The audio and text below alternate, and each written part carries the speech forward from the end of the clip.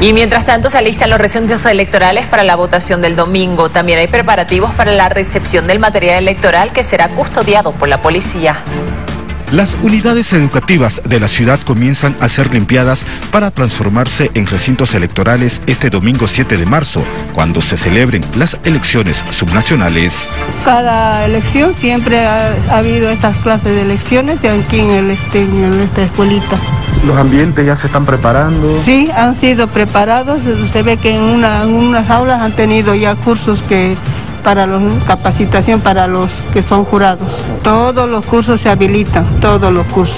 Sí, se habilitan. La unidad educativa La Madre de la zona del barrio 4 de noviembre también será recinto electoral. Son 12 aulas que servirán como mesas electorales. ¿Se está procediendo a la limpieza? ¿Qué es lo que se está haciendo? Sí, hasta dijeron que van a venir hoy día a hacer la limpieza.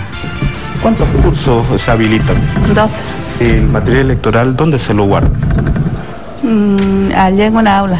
Una aula. Sí. Ahí se queda un policía cada vez que... Sí, se viene y cuidan. ¿Y a qué hora eh, se abre ya esta unidad educativa el día de las elecciones? A las 6 de la mañana ya están viniendo. Ya están instalando la mesa. Sí. Se estima que a partir del día sábado se distribuya el material electoral a los recintos del área urbana.